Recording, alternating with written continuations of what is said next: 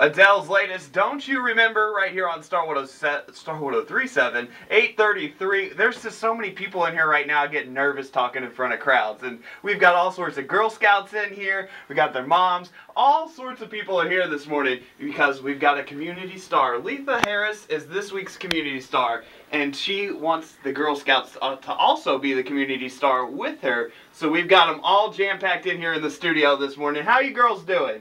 Good. There you go. They're they're being a little shy. I told them they need to talk a little bit louder when they're close to the mic.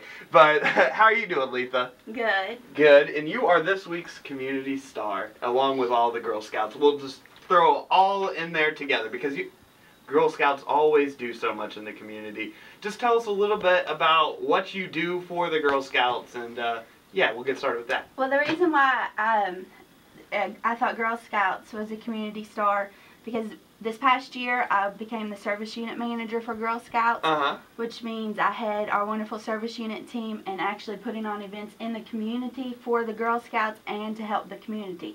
So through the past year we've held numerous events that the girls were able to take part of and help the community also, but also in their own troops. They are also dedicated to doing their own community service projects and we have um, close to 25 troops in the city, which have over 350 Girl Scouts as part of those troops. All right. And girls, can you guys tell us about some of the community service projects you do around the community? Well, I remember being able to do food drives and book drives, and it's really fun to be able to do all that kind of stuff to help with the community. Uh-huh. Anybody else? We decorate houses to like help the community and all that kind of stuff. Decorate houses. That sounds fun. Any other community service projects we got? You want to jump on?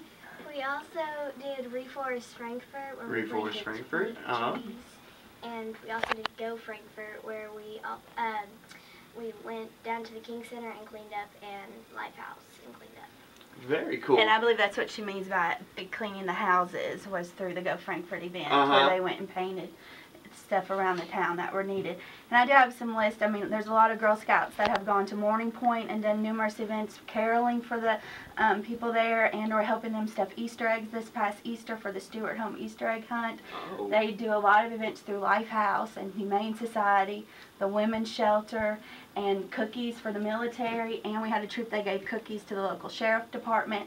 So along with not, you see us a lot of times selling cookies in front of Kroger's or Walmart, but we're doing a lot more than that as Girl Scouts. Right, and uh, you've also worked with March of Dimes, it says in the Mhm. nomination, as- as well as you, you just talked about the care packages for the troops, just doing stuff all over the place. You also talk about uh, the Twilight Camp. What exactly is the Twilight Camp?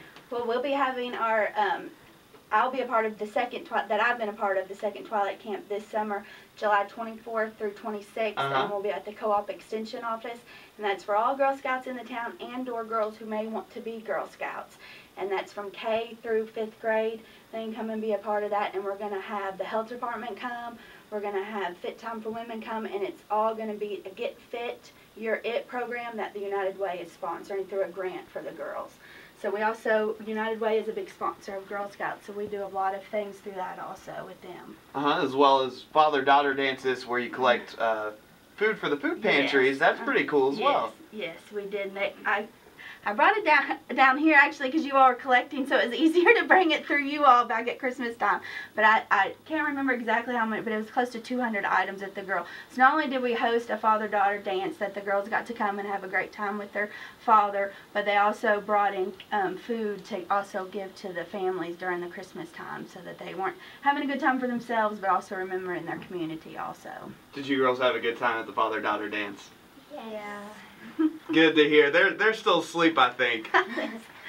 yes. um, all right. Well, uh, in honor of the community stars, if at the end of the quarter we will select one group to get a charitable don- donation to the charity of their uh, their choice. So it could be the Girl Scouts. We we could give you a call here soon.